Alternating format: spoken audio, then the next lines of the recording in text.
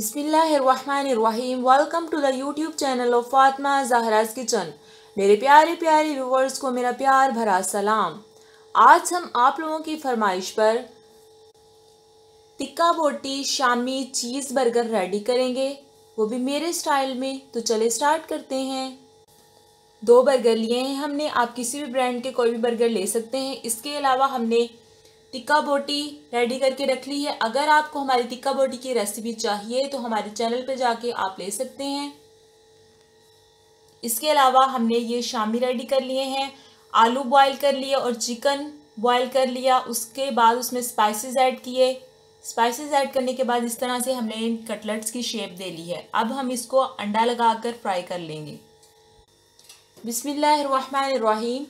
Chicken Shami ready हो चुकी है। अंडा लगाकर हमने इसको फ्राई कर लिया है।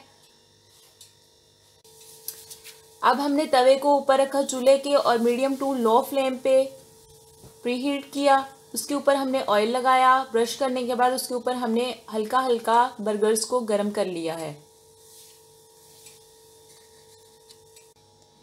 इसके बाद हमने बर्गर के बॉटम पार्ट पर मायोनीज और कैचअप हल्की हल्की लगा ली है।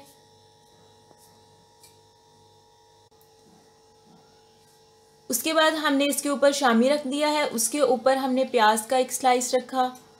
इसके बाद हम चीज़ ऐड करेंगे। चीज़ का स्लाइस मैंने चेडर चीज़ ली है, आप कोई भी अपनी पसंद की चीज़ ले सकते हैं। इसके बाद एक और शामी इसके ऊपर रखेंगे। अब इसके बाद हम इसके ऊपर टिक्का बोटी ऐड करेंगे।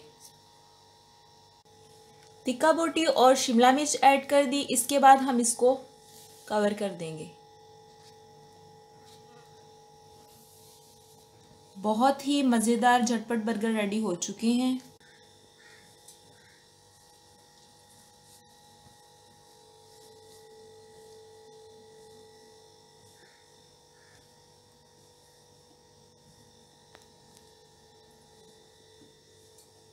उम्मीद करती हूँ आपको मेरी रेसिपी पसंद आई होगी। वीडियो ख़त्म करने से पहले मेरे चैनल को सब्सक्राइब कर दें। इस वीडियो को लाइक कर दें, अपने फ्रेंड्स और फैमिली मेंबर्स के साथ इस वीडियो को शेयर कर दें।